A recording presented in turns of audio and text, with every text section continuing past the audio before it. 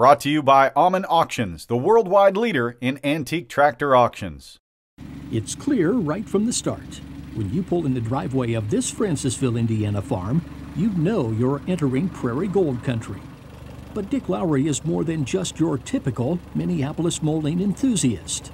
Well, this building here is where I keep the uh, the older ones, the later, the old models in here, and uh, there's a lot of mufflers sticking up when you go in here. Uh, probably about 45, at least 45.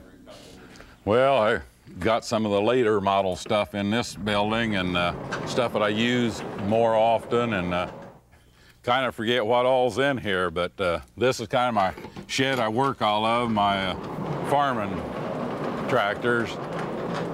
Uh, it's pretty well full also. Yes, Dick Lowry has a lot of tractors, 96 to be exact, and every one of them a Minneapolis Moline.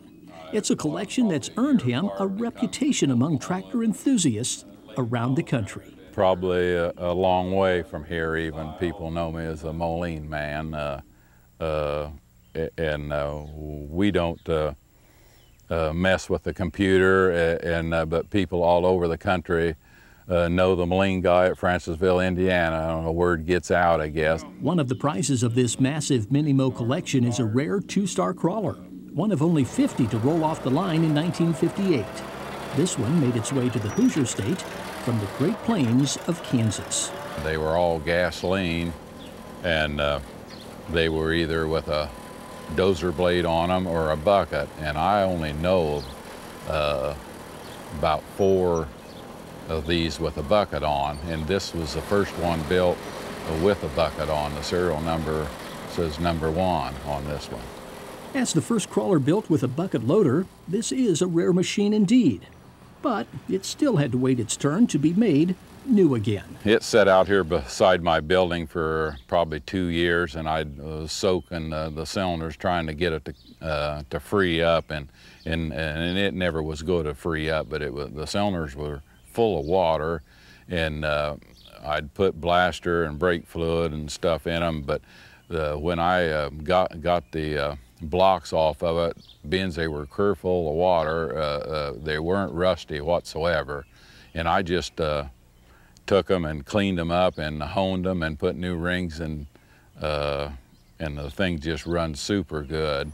Dick's years of experience working on Minneapolis Molines did little to prepare him for the damaged sheet metal, the homemade radiator, and seized engine that he'd encounter when bringing new life to this tractor. Well, to uh, uh, take this engine out is quite a chore. Uh, you, you take all this heavy casting off of the front and take the sheet metal off, and, uh, and then you can take your radiator out, and then um, you got a few bolts to take that engine out, and I had to take it out to read uh, to overhaul it, and uh, it's really tight quarters to do all of that. And uh, I blasted it and uh, uh, got everything uh, repaired on it and blasted it, and then I painted it, and I was holding off on the bucket to paint, and my wife said, you just go ahead and paint that bucket. She knew, kind of thought what I had in mind. I was wanting to play with it. But I went ahead and painted the tracks in the bucket, so I've never actually used it any. Just show it, I guess. Family plays an important role in maintaining these Molines. Dick's wife, Martha, as well as his sons and grandsons, all get involved. Well, it's kind of a family thing. My wife, she's uh, with me a lot, and uh, uh, got us. Uh, my sons are kind of interested, and they give me a hand when I need it, and a uh, couple grandsons that that help me, and uh, so that makes it more a lot more fun, I guess, with uh, more interest in it. And uh, we just enjoy it. I, I always say it's a good therapy for me. Nothing is more fun than taking a newly restored tractor out for a drive. This crawler comes equipped with a 57 horsepower, 206 cubic inch gas powered engine. It's easy to drive. You, you got your brake and your clutches all on one lever, the, the steering and uh, uh, and your brakes is all with just one lever. You put it in a a gear uh, forward or backwards. You got uh, five speeds and uh, put it in whatever, select what speed you want and, uh, and, uh, move a lever for forward and a lever and pull it back for reverse. and, uh, and you just steer it with those two levers. Well, this here lever uh, raises and lowers your bucket, and this lever here does the tilting or dumping of the bucket, and this lever here is uh, for another outlet, your hydraulic outlets in the rear, and uh, that's uh, the three outlets you got for your hydraulic. In spite of its small size, this crawler weighs in at over five and a half tons, and it can still handle its share of the work. It's got pretty good sized cylinders under it, and that bucket is quite large for no uh, bigger than this crawler is, and uh, it can lift a pretty good load. Uh, I'm a little surprised at that big a bucket, but I, I've got no problem uh, with that size of bucket on it. Minneapolis Molines are still working hard on the Lowry farm today.